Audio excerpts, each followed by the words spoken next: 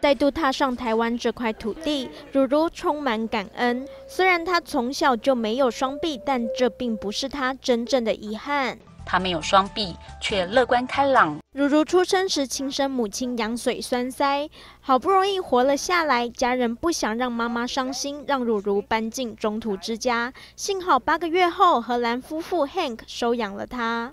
From the beginning on, it's it's our child, and it's very important because 夫妇让如如在充满爱的家庭中成长。She grew up like like like any normal girl.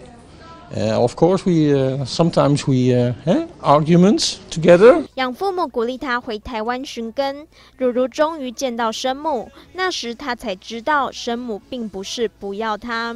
And I like the temperature and the people also. It's both home, both Taiwan and the Netherlands. 现在二十二岁的如如心里没有怨怼，充满感恩，而台湾就像是他另一个家。GTV 新闻综合报道。